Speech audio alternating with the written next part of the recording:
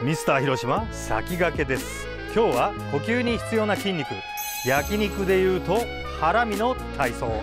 横隔膜を鍛えることでスムーズな呼吸を目指しましょう。広島の夜景をバックに参りましょうか。まずタオルを用意してください。タオルを背中から胸の前に回していきます。この時にぐーっとタオルを締めてください。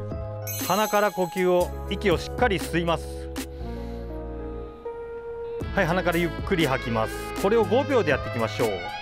タオルを巻くことで胸の動き広がったり狭まったりする動きが体感できると思います。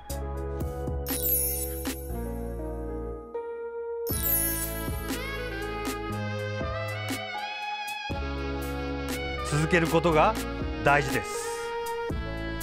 軍内また会おう。